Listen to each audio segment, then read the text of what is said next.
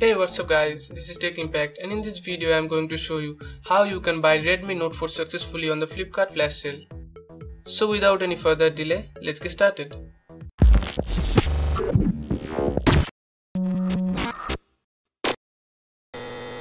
Many people are trying to buy this phone on flash sale but they can't as it goes out of stock within few seconds.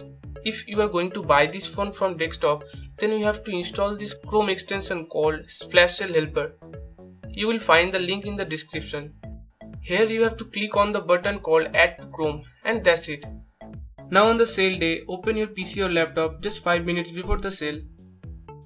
Open up Google Chrome browser, go to flipkart.com and log in with your ID and password.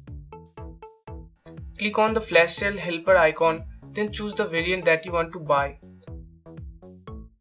and now this extension will try to find that buy button and click it.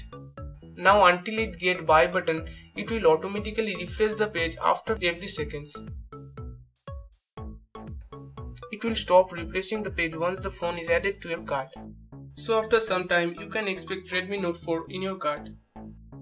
If you want to buy Redmi 4 from your Android phone, then you have to download Flash Helper app from Google Play Store.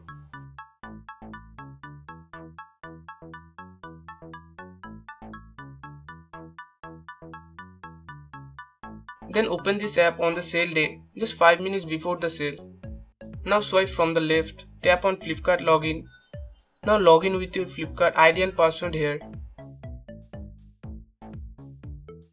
Again swipe from the left and select the variant you want to buy and that's it.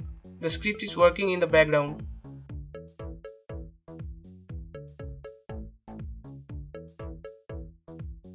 It will stop refreshing the page once the phone is added to your cart.